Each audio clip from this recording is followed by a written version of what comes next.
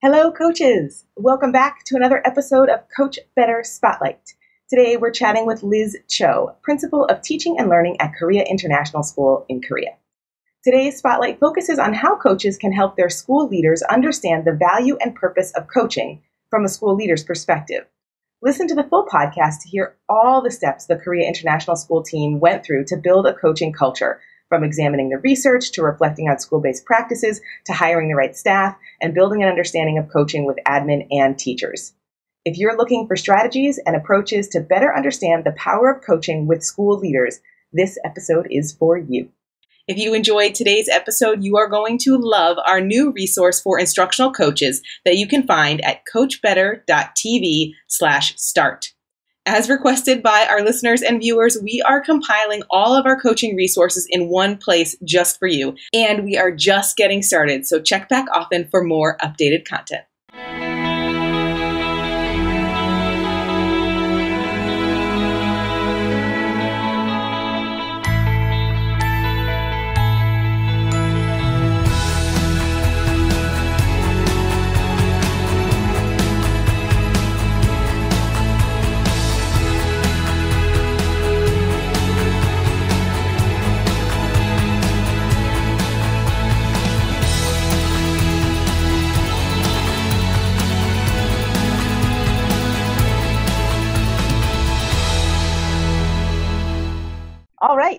Welcome back to another episode of Coach Better. Today, Clint and I are happy to be chatting with Liz Cho. Welcome to the podcast, Liz. Thanks. Thanks for having me. We're so happy you're here. Liz, can you start us off and tell us a little bit about your education background, a little bit about you as an educator and your experience? Yeah, absolutely. Um, let's see, where do I start? Um, I started my teaching career in the US. Um, I um, I was an English major and I got my um, master's in education and I taught for five years in the Washington, D.C. area before I came abroad internationally full time.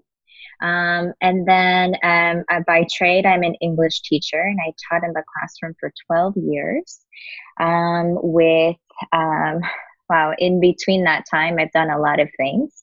Um, I went through the COETAIL program. Um, I also got another master's in administration. Um, and um, I have done uh, various things in between, um, leading my department, being a CAS coordinator.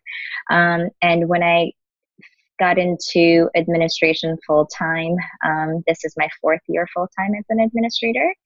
Um, I uh, moved to um, Korea and came here as the director of curriculum the first couple of years, and now I'm at Korea International as the principal of teaching and learning. And my job is to, of course, um, align curriculum horizontally and vertically at the school at PK to 12 institution. Um, have about 1,200 students, and also I'm in charge of teacher professional development and professional learning.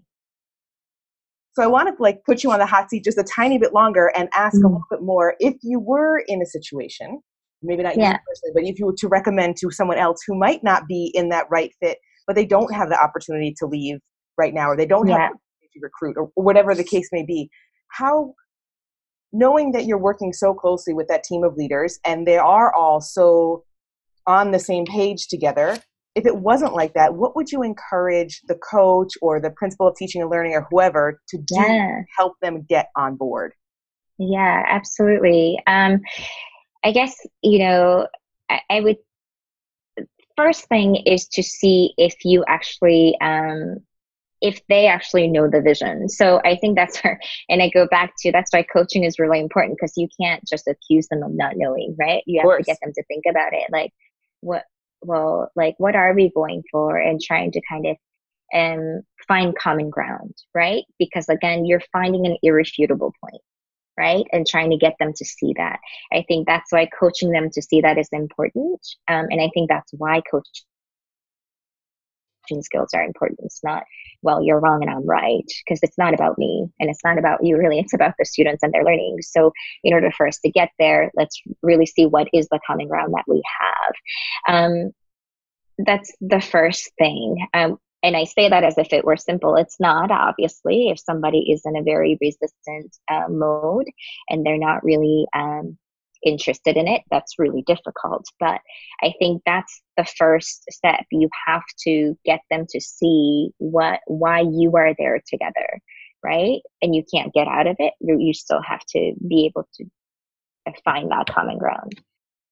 Um, and having the conversations that uh, building off of that is what is um, how do we impact student learning? I think that's the biggest question because again we have to try to take the focus off of you and me and him or her right? But it has to be about our learners and the learning community at the school. So what are we doing that would help impact the student learning in a positive way so that they can be the best version of themselves. Um, so yeah, I would say that you you have to try, and if that were not going to work, then that's you wait out your contract, right? That's not the place where you should be.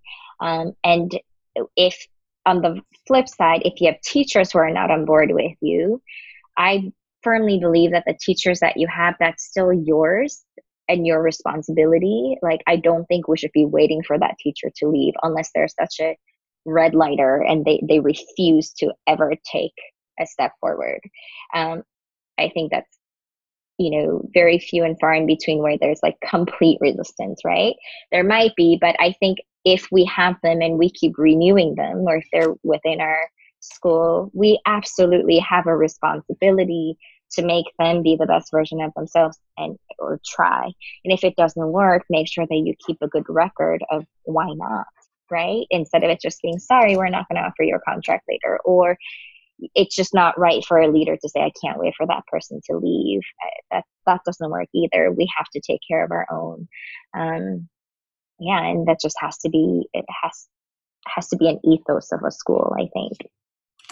I think the two points that you shared about encouraging coaches to help school leaders get on board, getting that common ground, and then take the focus off the, the individuals in the conversation, I think yeah. are two concrete, very strategic ways that coaches can work with their school leaders to try and see how they can move coaching forward. I think sometimes coaches get stuck in the challenge of you were speaking earlier about how the name is ambiguous right? So like yeah, I have yeah, a vision of what my job is, you have a vision of what my job is, somebody else has a vision of what my job is. And so it's hard for everybody to get onto the same page. And so I think starting. Mission and then talking about student learning, and then I'm even thinking you probably could have added a third section to that that you have already talked about, and that's the research piece and the feedback piece yeah, absolutely. at school. Mm-hmm. And I think if you mm-hmm. do those three things, you're helping, you're coaching up, like you're talking about, helping your leaders understand the purpose and power of coaching from the perspective of improving learning at our school, not yeah. my job or you don't understand Absolutely. my job or tell me my job, right. you know, that kind of mm-hmm. right. framework. Right. Mm-hmm. Yeah, I think you're right. I hope you enjoyed that conversation, and there is so much more on the audio version. Don't miss subscribing to our podcast on any of your podcast subscribers under Coach Better.